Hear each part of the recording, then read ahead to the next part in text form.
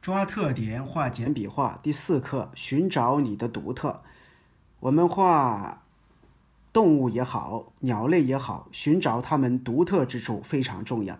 比如说，我们画一般的鸟类，嘴巴只需要这样画就可以了。但如果我们是画鹦鹉的话，它的嘴巴就比较特别。鹦鹉的嘴巴是这样的。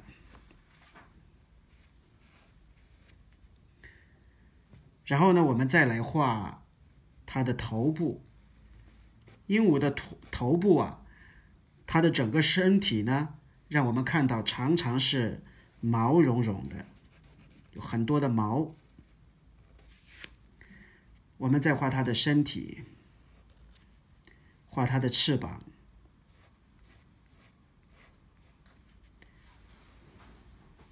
然后呢，我们再画。用弧形，我们说过，弧形有画龙点睛的作用，表示毛茸茸的身体和羽毛。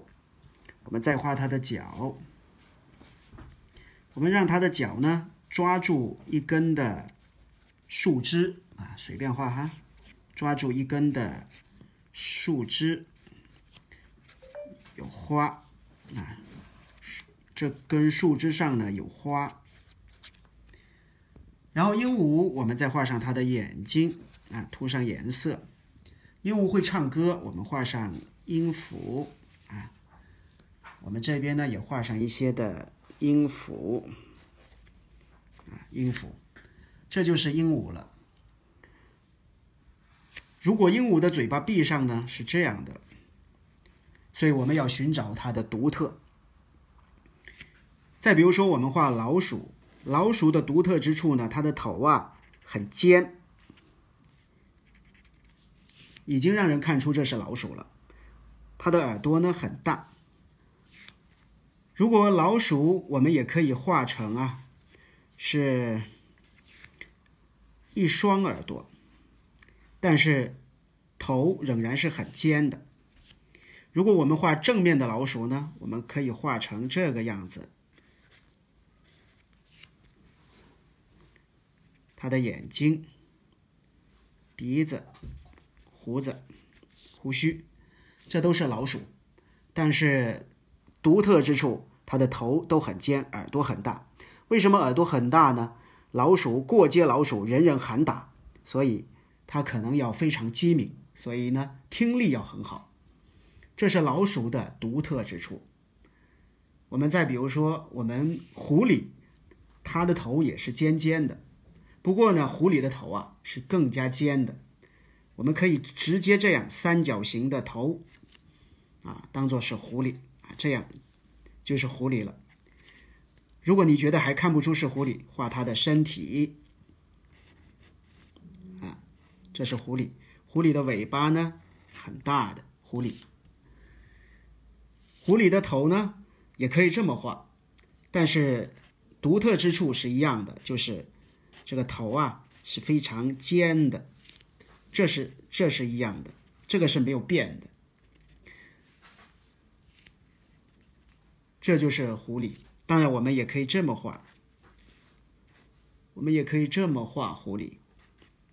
我们画一只微笑的狐狸，哎，也可以。所以呢，这是狐狸的独特之处，它的头尖。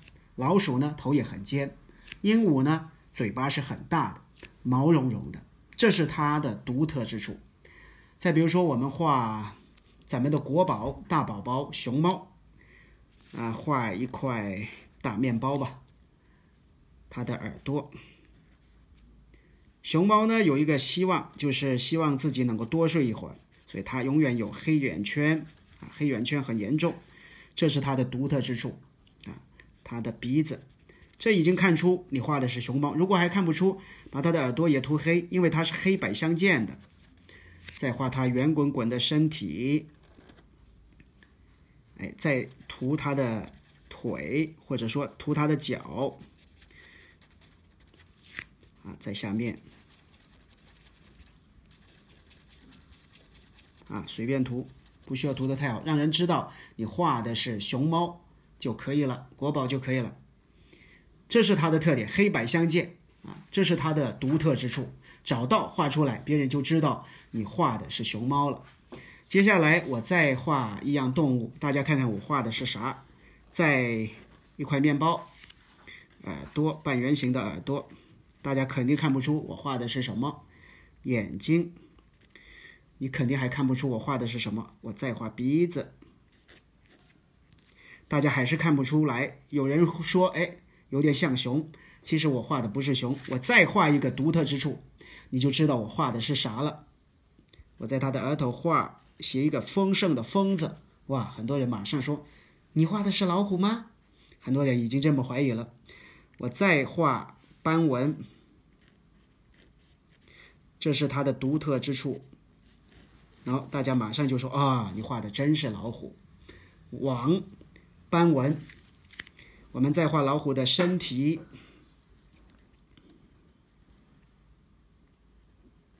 让它蹲着，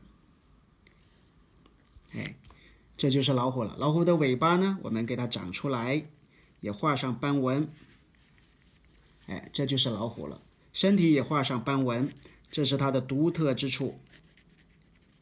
有时候不止一个独特之处，可能两个、三个，但找到一两个独特之处，人家就知道你画的是啥东西了。